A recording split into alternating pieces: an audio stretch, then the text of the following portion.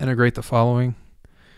So in order to get this, we're going to have to rearrange it to match up with, um, it looks like it's going to be the arc sine. So this problem right here.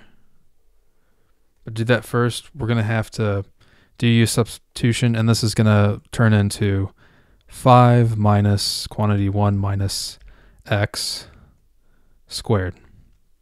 Because if you multiply this back out, you're going to end up with 4 plus 2x minus x squared.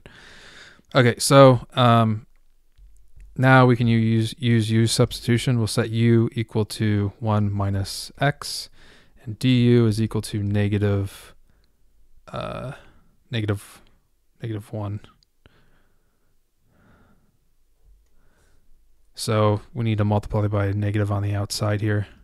And then we're going to have du, and this is going to be the square root of 5, or excuse me, u squared.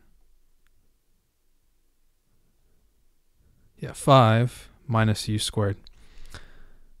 And then we're going to get uh, negative when we integrate arc tangent or inverse tangent of u over a, which is square root of 5 because this is in the a squared form. And then we're going to get plus c. Substitute back in, we get to negative sine of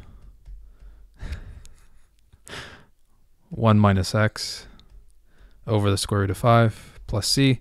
And if you want to go extra further, uh, sine's an odd function, so we can put this back in here.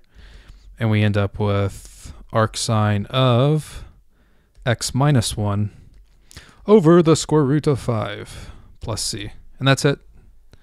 Okay, I hope this helped you out. I appreciate you watching the video, and you have yourself a great day.